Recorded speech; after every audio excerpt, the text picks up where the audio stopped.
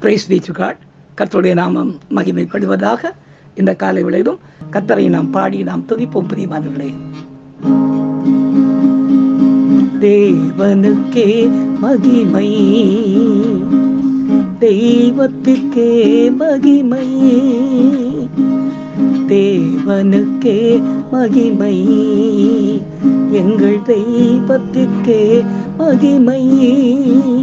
எம்மை தேடி வந்து மீட்டவரே தினம் உமக்கே மகிமை. எம்மை தேடி வந்து மீட்டவரே தினம் உமக்கே மகிமை. ஐயா வாழ்க வாழ்க. உம் நாமம் வாழ்க. ஐயா வாழ்க வாழ்க. உம் நாமம் வாழ்க. தேடுகிற அனைவருமே மகிழ்ந்து களி கூறட்டும் உம்மை தேடுகிற அனைவருமே மகிழ்ந்து களி கூறட்டும் இன்று பாடுகிற யாவருமே பரிசுத்தமாகட்டுமே. இன்று பாடுகிற யாவருமே பரிசுத்தமாகட்டுமே. ஐயா வாழ்க வாழ்க. உம் நாமம் வாழ்க. ஐயா வாழ்க வாழ்க. பொன்னாமம் வாழ்க. தேவனுக்கே மகிமை எங்கள் தெய்வத்திற்கே மகிமை. எம்மை தேடி வந்து மீட்டவரே தினம் உமக்கே மகிமை. எங்களை அதிகமாய் நேசிக்கிற எங்கள் அன்பின் பரம தகுப்பனே. இந்த கிருவையான காலை விளக்காய் மக்கள் நாங்கள் நன்றி செலுத்துகிறோம் உண்மை மகிமைப்படுத்துகிறோம். இந்த காலை விளைகளும் கூட உண்மை துதிக்க உண்மை ஆராதிக்க கத்தர் எங்களுக்கு பாராட்டின கிருபைக்காய் உள்ளத்தின் ஆழத்திலிருந்து மக்கள் நாங்கள் நன்றி செலுத்துகிறோம் உண்மை மகிமைப்படுத்துகிறோம் ராஜா. இந்த விளைகளும் கூட உங்களுடைய வார்த்தைகளை தியானிக்க கத்தர் எங்களுக்கு உதவி செய்வீராக. தொடர்ந்து எங்களை நடத்தும். இயேசுவின் நாமத்தில் ஜெபிக்கிறோம். எங்கள் ஜீவனுள்ள நல்ல பிதாவே. ஆமீன் ஆமீன். எனக்கு அருமையானவர்களே இந்த நாளிலே நாம் தியானிக்கும்படியாக கர்த்தர் நம்ம கொடுக்கிற வார்த்தைக்கு நேராக நாம் கடந்து போவோம். ஏசாயாவின் தீர்க்க தரிசன புத்தகம் நாற்பத்தி ரெண்டாம் அதிகாரம் மூன்றாம் வசனத்தை நாம் வாசிக்க கேட்போம். இங்கே இயேசு கிறிஸ்துவை குறித்து தீர்க்க தரிசனம் உரைக்கப்படுகிறது. அவர் நெறிந்த நாணலை முறியாமலும் மங்கி எரிகிற திரியை அணையாமலும் நியாயத்தை உண்மையாக வெளிப்படுத்துவார் என்று வேதம் அவரை குறித்து சொல்லுகிறது. எனக்கு அருமையானவர்களே விசுவாசிகளாகிய நமது வாழ்வில் சில சம்பவங்கள் சில நிகழ்ச்சிகள் நடைபெறும் பொழுது அது நாம் ஆண்டவர் மீது வைத்துள்ள விசுவாசத்தை முறிக்கக்கூடிய அளவிற்கு செயல்படுவது போலவும் நமக்குள் அவரை குறித்து வைத்திருக்கிற நம்பிக்கையான விசுவாசம் எரிந்து கொண்டிருக்கிற அந்த அளவை விட்டு அந்த அனல் அணைந்து போவது போலவும் கூட சில நேரங்களில் இருக்கும். அப்படிப்பட்ட வேளைகளிலே நாம் சோர்ந்து போய் ஆண்டவரிடம் முறையிடும் பொழுது அவர் நம்மை நடத்தின அந்த பாதையின் நியாயத்தை அவர் நமக்கு வெளிப்படுத்தி இதுவும் நம்முடைய நன்மைக்கு தான் என்று ஏற்றுக்கொள்ளும்படி அதை புரிந்து கொள்ளும்படி காரியத்தை நமக்கு விளங்க பண்ணுவார் என்று வேதம் சொல்கிறது. இதை கேட்கிற அநேகர் இந்த சூழ்நிலைக்குள் வந்து இதை புரிந்து வாழ்ந்து கொண்டிருப்பீர்கள் என்று நான் விசுவாசிக்கிறேன். அப்படிதானே? ஆனால் பாருங்கள் இசையா நாற்பத்தி ரெண்டு ஒன்றில் கூடுதலாக இன்னொரு ஒரு வார்த்தை கொடுக்கப்பட்டிருக்கிறது ஆண்டவரை குறித்து. என்னவென்று பார்க்கும் பொழுது கர்த்தராகிய இயேசு கிறிஸ்தனுடைய ஆவியானவரை குறித்து சொல்லும் பொழுது அவரை ஏற்றுக்கொண்ட விசுவாசிகளுக்கு மட்டுமல்ல அவர் தமது நியாயத்தை அவரே அறியாத புறஜாதிகளுக்கும் வெளிப்படுத்துவார் என்று வசனம் சொல்லுகிறது. ஏனெனில் இஸ்ரேல் ஜனங்களை நோக்கி மட்டும் தமது கைகளை நீட்டாமல் புறஜாதிகளாகிய நம்மை நோக்கியும் கைகளை நீட்டி இன்றைக்கு ரட்சித்து அருமையாய் சேர்த்து கொண்டார் அல்லவா எனவே அவர் துவக்கிய விசுவாசம் ஒவ்வொருவருக்குள்ளும் முறிந்து போய்விடாதபடியும் மங்கி அணைந்து போய்விடாதபடியும் அதை மறுபடியும் எழுப்புவார் என்று அவரே அதை விசுவாசத்தை காத்துக்கொள்ள வல்லமை உள்ள தேவனாய் இருக்கிறார் என்று வேதம் நமக்கு தெளிவாய் சொல்லுகிறது. இதை விளக்கும்படியாக என்னுடைய வாழ்க்கையில் நடந்த ஒரு சாட்சியை இன்றைக்கு உங்களுக்கு நான் சொல்லுவதில் மிகவும் மகிழ்ச்சி அடைகிறேன் கற்றுடைய நாமம் மகிமைப்படுவதாக எனக்கு அருமையானவர்களே ஒரு பிராமண சகோதரனுடைய வாழ்க்கையிலே கர்த்தர் ஒரு அற்புதமான காரியத்தை செய்து வெங்கடேஷ் என்று சொல்லக்கூடிய அந்த மகனுடைய வாழ்க்கையிலே கர்த்தர் விசுவாசத்தை துவக்கினார் என்று நான் உங்களுக்கு நான் சாட்சி கொடுத்திருந்தேன். அந்த நிலையிலே இருந்த அந்த மகன் ஒவ்வொரு நாளும் ஆண்டவரை குறித்து அதிகமாக அறிந்து கொண்டு கத்தருக்குள்ளே இப்படிப்பட்ட விசுவாசம் எப்படி ஆண்டவர் ஜனங்களுக்குள்ளே இப்படிப்பட்ட காரியங்களை செய்கிறார் என்பதை குறித்து என்னோடு விளக்கமாக கேட்டுக்கொண்டு வந்து கொண்டிருந்தார். நானும் அவருக்கு அவரை சந்திக்கும் போதும் ஒவ்வொரு நாளும் நான் சொல்லிக் கொண்டே இருந்தேன். இதன் நிமித்தமாக அந்த மகனுக்குள்ளேயே கத்தரை குறித்த விசுவாசம் பெருகினதினாலே அவங்க வீட்டில் பிராமண குடும்பத்தார் மத்தியிலே கர்த்தரை குறித்தவன் அதிகமாய் பேச பேச அந்த குடும்பத்தாருக்கு பயம் வந்து ஒரு விஷயம் அந்த தம்பியை பார்க்க நான் வீட்டுக்கு போன போது என்னை வீட்டுக்கு வெளியே நிறுத்தி விட்டார்கள் என்னன்னு கேட்கும்போது இல்லை பிரதர் தப்பாக நினைக்காதீங்க. இது ஒரு பிராமண குடும்பம். நாங்கள் ரொம்ப வைதிகமான ஒரு குடும்பத்தை சேர்ந்தவர்கள். இங்கே எங்கள் மகன் இப்போ அடிக்கடி இயேசு கிறிஸ்துவை குறித்து பேசுகிறான். அவனுடைய வாழ்க்கையில் ஏதோ அற்புதங்கள் அடையாளங்கள் எல்லாம் நடந்ததா? அப்படின்னு சொல்கிறதுனால வீண் பிரச்சனைகள் மத பிரச்சனைகள் வர வேண்டாம் நாங்கள் நான் சரிம்மா நான் உள்ளே வரலை. நான் வெளியே நிற்கிறேன் ஆனால் தம்பிக்கிட்ட சொல்லிவிடுங்க நான் பஸ் ஸ்டாண்டில் நான் போயிடுறேன்னு சொல்லிடுங்கன்னு சொல்லிட்டு நான் பஸ் ஏறி நான் போய்விட்டேன். பிற்பாடு அன்றைக்கு மதியம் என்ன அந்த தம்பி வரும் அது ஒரு வெள்ளிக்கிழமை. அந்த தம்பி என்னை சந்திக்க வந்தார். வந்தபோது சொன்னேன் ஏன் பாரு வீட்டில் பிரச்சனை பண்ணிக்கிட்டு இருக்க? உன்னுடைய வாழ்க்கையிலே இயேசு கிறிஸ்து அற்புத அடையாளங்களை செய்ததினாலே அவர் மெய்யான ஆண்டவர் என்பதை நீ அறிந்து கொண்டாய்.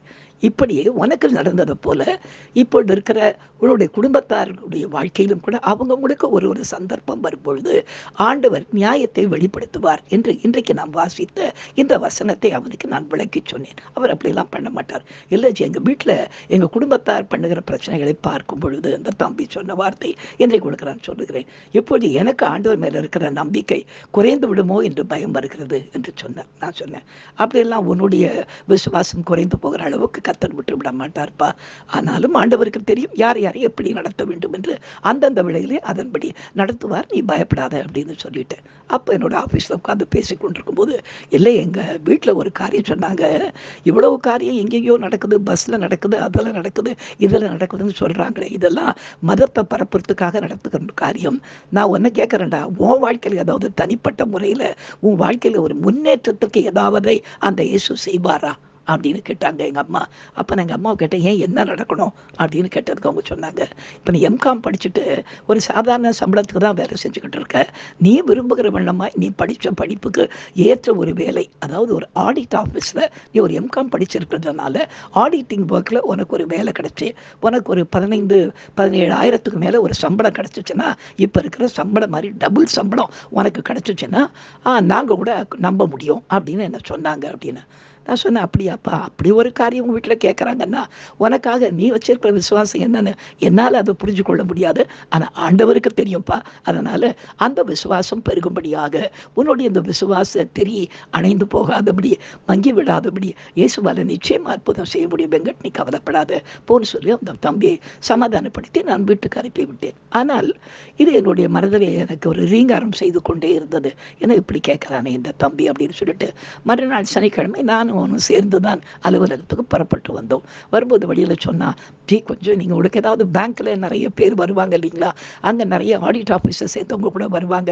ஏன்னா பாரிஸ் கார்னரில் ஒர்க் பண்ணுறீங்க இங்கே தான் சுற்றி சுற்றி எல்லா அஃபிஷியல்ஸும் இருக்கிறாங்க.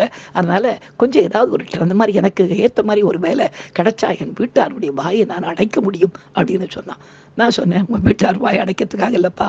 உன் விசுவாசம் பெருகிறதுக்காக ஏன்னா நீ சோர்ந்து போயிட்டு இருக்கிற அதனால் கத்த நிச்சயமாய் காரியத்தை செய்வார் என்று சொல்லி அவனை நான் அனுப்பிவிட்டு நான் என்னுடைய அலுவலகத்துக்கு போய் நான் உட்கார்ந்து அன்றைக்கு சனிக்கிழமை அலுவலக வேலையெல்லாம் முடிச்சுட்டு இந்த காரியத்தை யோசித்து கொண்டு நான் என்னுடைய என்னுடைய சீட்டில் உட்கார்ந்து கொண்டிருந்தேன். அப்பொழுது என்னுடைய அதாவது நைன்டீன் பேங்க்கில் ஒர்க் பண்ணி கொண்டிருக்கும்போது நடந்த காரியம் இது. அப்போ என்னுடைய அசிஸ்டன்ட் மேனேஜர் அங்கே சந்தானம் என்று அவர் ஒரு ஐயங்கார் பிரா ஒரு பிராமன். அவர் அங்கேருந்து வந்தார். லவி வீட்டுக்கு போலியா அப்படின்னு கேட்டார். இல்லை சார் ஒரு சின்ன ஒரு விஷயம் அந்த சோகத்தை குறித்து நினச்சிக்கிட்டு இருக்கேன். உனக்கு என்ன சோகம்? நீ தான் சோகத்தை தீர்க்கிற இயேசுகிட்டே போயிட்டே அப்புறம் என்ன? வேற என்ன சோகம்? சரி உன் சோகம் ஒரு பக்கம் இருக்கட்டும். எனக்கு ஒரு வேலை செய்ய அப்படின்னு சொன்னார். நான் சொன்னேன் சார் சாட்டர்டே சார் எனக்கு எல்லாரும் வீட்டுக்கு போயிட்டாங்க. ரெண்டு மணி ஆயிடுச்சு. இதுக்கு மேலே என்ன ஏதோ ஜாப் கொடுக்குறீங்க? எனக்கு என்ன? அப்படின்னு. இல்லைப்பா ஒரு கிறிஸ்டியன் ஜாப் ஒன்று உனக்கு கொடுக்குறேன். அன்பான ஒரு வேலை உனக்கு கொடுக்குறேன். கிண்டல் பண்ணார். எப்போவுமே எல்லாருமே என்ன கிண்டல் பண்ணுவாங்க. ஆண்டவரை ஏற்றுக்கொண்டதினாலே. நான் சிரிச்சுட்டே சொன்னேன் சரி சொல்லுங்க. அந்த நிமித்தமாய் செய்கிற ஒரு வேலைனா கட்டாயம் நான் செய்கிறேன் சொல்லுங்களேன். அப்படின்னு சொன்னேன். அவர் சொன்னார் உனக்கு யாராவது எம்காம் படித்த பையன் யாரையாவது தெரியுமா அப்படின்னாரு. நான் அப்படியே நிம்மதி உட்காந்தேன் என்ன சொன்ன சொல்லுங்கள் சார் அப்படின்னு. எம்காம் படித்த பையன் பக்கத்தில் இருக்கிற எனக்கு தெரிஞ்ச ஒரு ஆடிட் ஆஃபீஸில் ஒரு வேலை காலியாக இருக்கிறது. எப்படி ஒரு பதினேழாயிரம் ரூபாய் சம்பளம் கொடுப்பாங்க. ஏற்கனவே ஆடிட் ஆஃபீஸில் ஒர்க் பண்ண ஒரு ப்ரீவியஸ் எக்ஸ்பீரியன்ஸ் உள்ள ஒரு பையன் கிடைப்பானே. ஆனால் உடனே இம்மீடியட்டாக இப்போ வேலைக்கு தேவை. மண்டேலேருந்து டியூட்டி ஜாயின் பண்ணணும். யாராவது கிடைப்பானா அப்படின்னாங்க. எனக்கு அருமையானவர்கள் எப்படி இருக்கும் பாருங்க.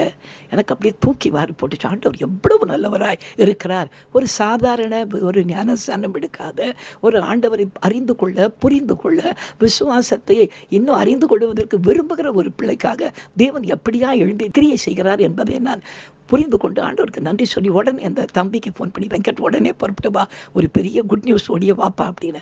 அவன் வந்த உடனே சார்கிட்ட நிற்க வச்சேன் சார் இவர் உங்கள் கம்யூனிட்டியை சேர்ந்தவர் தான். சீக்கிரம் அவருக்கு ஏதாவது பார்த்து செய்யுங்கன்னு. அப்போ ஒரு விஷயத்தை சொன்ன உடனே அவன் கண்ணில் தண்ணீர் மட மடன்னு ஊத்த ஆரம்பிச்ச உடனே அவர் சொன்னார் என்னடா தம்பி நீ என்ன? இவர் என்ன உடனே மிஸ்மரைஸ் பண்ணிட்டாரா? அப்படின்னு. இல்லைங்க சார் அதெல்லாம் அப்படி இல்லை. இன்னைக்கு காலையில் தான் எனக்கு இப்படி ஒரு வேலை வேணும். அதுவும் ஆடிட் ஆஃபீஸில் வேணும். இப்படி ஒரு சம்பளத்தை வேணும்னு நான் கேட்டேன். ஆனால் உடனே இவர் மூலமாக இப்படி ஒரு காரியம் எனக்கு நடக்கும்னு எதிர்பார்க்கல. ஜீசஸ் இஸ் கிரேட் அப்படின்னு சொன்னான். உடனே அவர் சொன்ன என்னப்பா அதை மாற்றிட்டாரா அப்படின்னார். இல்லை சார் அதெல்லாம் ஒன்றும் இல்லை. சொல்லுங்கன்னு சொல்லிட்டு அந்த நாளிலே உடனடியே அங்கே நாங்கள் ரெண்டு பேருமே புறப்பட்டு போய் அவருடைய ஆஃபீஸில் அவனை கொண்டு போய் இன்டர்வியூவில் உட்கார வைத்து அந்த நாளிலே அந்த அப்பாயின்மெண்ட் அவருக்கு கிடைக்கவும் மறு திங்கட்கிழமையிலிருந்து அவன் வேலைக்கு சேர்ந்து கொள்ளவும் கர்த்தர் கிருபை செய்தார். இதை கொண்டு போய் அவங்க வீட்டில் அவன் சொல்லி அந்த நாளிலே அந்த குடும்பத்தில் இருக்கிற ஜனங்களை எல்லாருக்கும் இயேசு மெய்யான தெய்வம் வந்து அறிந்து கொள்ளுங்க. நம்ம யாரோ தான் நம்ம அவர் இதுவரையில வணங்கல தான் ஆனாலும் கூட எனக்குள்ள அவர் துவக்கின அந்த விசுவாசத்தை அவன் முறிஞ்சு போகாமல் குறைஞ்சு போகாமல் எனக்கும் ஒரு அற்புதம் செஞ்சிருக்காரு. புரிஞ்சுக்கன்னு சொல்லிட்டு அந்த நாளிலே அடுத்த நாளிலிருந்து அந்த குடும்பத்தார் என்னை மிகவும் அன்பாக வரவேற்று என்னோடு பேச ஆரம்பித்தார்கள். கர்த்தருடைய நாமம் மகிமைப்படுவதாக இன்றைக்கு வேதம் சொல்கிறது. அவர் நெறிந்த நாணலை முறியாமலும் மங்கி எரிகிற திரியை அணையாமலும் நியாயத்தை உண்மையாக வெளிப்படுத்துவார். ஒருவேளை இன்றைக்கு செய்தியை கேட்டுக்கொண்டிருக்க அருமையானவர்களே ஒருவேளை உங்கள் நியாயங்கள் இன்னைக்கு வெளிப்படாமல் இருக்குமே ஆனாலும் கூட அந்த நியாயத்திற்காக அவர் எழும்பி உங்கள் விசுவாசம் குறைந்து போகாதபடி சத்தியமான நியாயத்தை வெளிப்படுத்தி நமக்காக அவர் காரியத்தை முடிப்பார் என்பதை புரிந்து கொள்வோம் நாம் செபிப்போம் எங்களை அதிகமாய் நேசிக்கிற அன்பின் பரம தகுப்பனே இந்த கிருபையா கிருபையான விளைக்காய் மக்கள் நாங்கள் நன்றி செலுத்துகிறோம் மகிமைப்படுத்துகிறோம் ராஜா. வசனத்தின்படி கத்தாவிகள் வாழ்விலே நன்மை செய்கிற தேவனே உமக்கு நன்றி ராஜா. தொடர்ந்து எங்களை நடத்தும். இயேசுவின் நாமத்தில் ஜெபிக்கிறோம். எங்கள் ஜீவனுள்ள நல்ல பிதாவே. ஆமீன். என் ஆத்மாவே கத்தரை ஸ்தோத்திரி. என் முழுவுடமே அவருடைய பரிசுத்த நாமத்தை ஸ்தோத்திரி. என் ஆத்மாவே கத்தரை ஸ்தோத்திரி. அவர் செய்த சகல உபகாரங்களையும் மறவாதே. ஆமேன். கத்தராக இயேசு கிருஷ்ணனுடைய கிருவையும் பிதாவாகிய தேவனுடைய அன்பும் பரிசுத்தானுடைய ஐக்கியமும் பாதுகாவலும் நம் ஒவ்வொருவரோடும் இருப்பதாக.